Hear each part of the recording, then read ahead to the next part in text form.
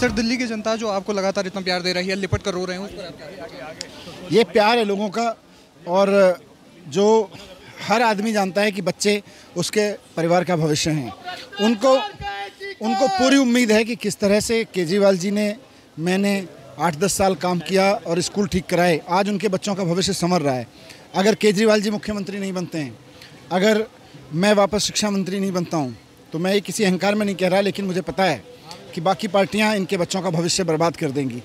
School खराब कर देंगी कॉलेज खराब कर देंगी इसलिए ज़रूरी है कि केजरीवाल जी दोबारा मुख्यमंत्री बने। दिल्ली में जो नेतृत्व परिवर्तन हुआ उसको बीजेपी एक पॉलिटिकल स्टंट बता रही है उस पर आप क्या कहेंगे? अब बीजेपी क्या बता रही है वो छोड़ो लोग जो कह रहे हैं वो सुनो। लोग कह रहे हैं कि भारतीय जनता पार्टी बहुत झूठी पार्टी है उसने केजरीवाल जी के ऊपर झूठे आरोप लगाए। भारत माता की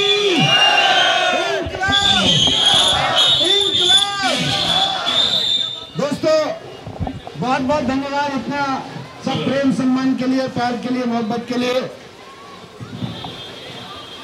आज आपकी जनपद विधानसभा में आया हूँ। पदयात्रा करने के लिए सबको दूर दूर तक के बालकनी में खड़े हैं, मंदिर के दरवाजे पे खड़े भगवान के दरवाजे पे खड़े उनको सबको नमस्कार। मैं बस आपसे ये कहना हूँ कि आपको बताइए, अरविंद केजरीवाल जी ने इस्तीफा दिया है। और उन्होंने इस्तीफा इसलिए नहीं दिया कि उन्होंने कोई बेईमानी की है। उन्होंने इस्तीफा दिया है कि बीजेपी वालों ने उनके ऊपर झूठा लांछन लगाया है। उन्होंने इस्तीफा दिया है कि बीजेपी वालों ने उनके ऊपर झूठा लांछन लगाया है। जब ये झूठा लांछन सुप्रीम कोर्ट में में पहुँचा तो मेरी जमानत देते हुए सुप्रीम कोर्ट ने कहा कि ये ऐसा केस है जो नीचे के कोर्ट में ट्रायल के समय पे दो क्वेश्चन नहीं दे झेल पाएगा, दो सवाल में खत्म हो जाएगा यह केस लेकिन उसके बावजूद मुझको सत्रह महीने जेल में रखा गया। हेलो केजरीवाल जी को छह महीने जेल में रखा गया।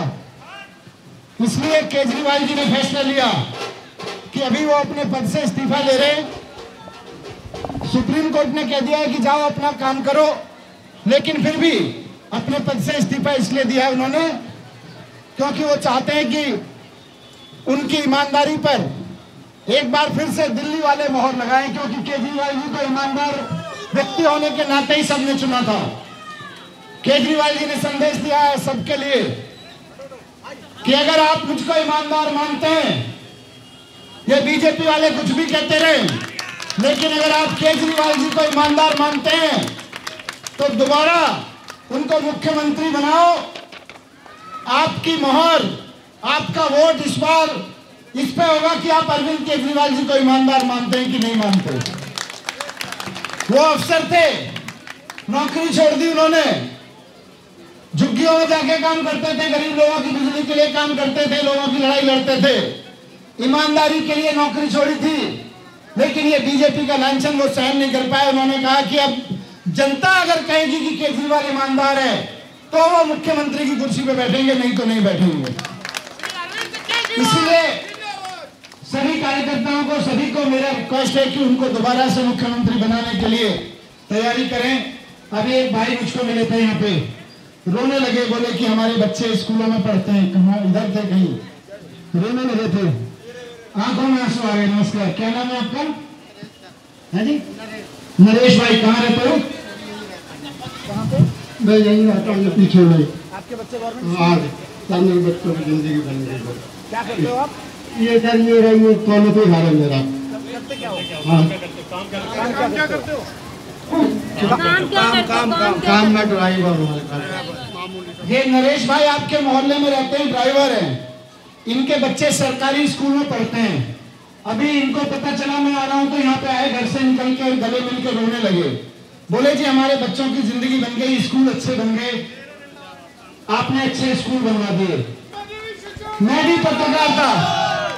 मैं भी एक टीवी चैनल में पत्रकारिता करता था। मैं भी नौकरी छोड़ के आया था राजनीति करने के लिए, इसलिए कि ईमानदारी से राजनीति करूँगा और देश के बच्चों के लिए अच्छे स्कूल बनवाऊँगा, अच्छी शिक्षा की व्यवस्था करूँगा।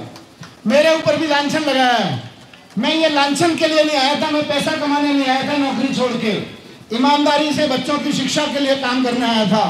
मैं भी आहत हूँ इस लांछन से। सत्रह महीने जेल में रह के आया हूँ। लेकिन ईमानदारी से काम किया था। अगर दिल्ली के साथियों को, दिल्ली के लोगों को, यहाँ के सब लोगों को लगता है कि मनीष सिसोदिया ईमानदार है, मनीष सिसोदिया ने ईमानदारी से स्कूलों पर काम किया है तो वोट दे देना, दोबारा शिक्षा मंत्री बन के काम करूँगा। मैं वापस नहीं बैठा केजरीवाल जी की तरह। केजरीवाल जी ने कहा, मैं मुख्यमंत्री की कुर्सी पर वापस नहीं जा रहा।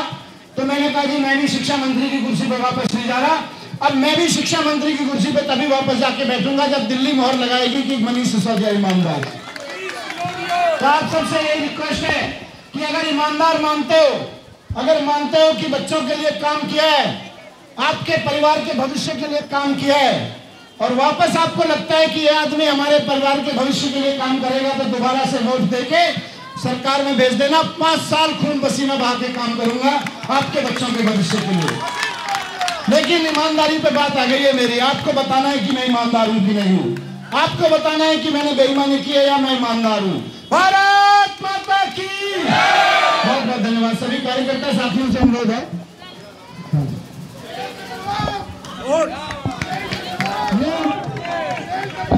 बच्चा है। ये बच्चा नहीं है, भारत का भविष्य अपने परिवार का भविष्य और भारत का भविष्य है। इसका भविष्य बनाना है। इसका भविष्य स्कूलों में बनेगा। आप सबको वोट देना है इसके भविष्य की खातिर। थैंक यू सभी कार्यकर्ताओं से, साथियों से अनुरोध है। चेन में बनाए, मुझे किसी से खतरा नहीं है, मुझे चेन बनाने वालों से खतरा है। जो चार कार्यकर्ता खड़े होके कहते हैं, जी चेन बनाओ चेन बनाओ, आपकी सिक्योरिटी के लिए खड़े मैं बताता हूँ, मुझे उन्हीं चार कार्यकर्ता से किसी से खतरा नहीं है। इतना प्यार करते हैं इतनी मोहब्बत करते हैं लोग, आप चेन बना के हमको मिलने नहीं देते इधर रास्ता खाली रखिए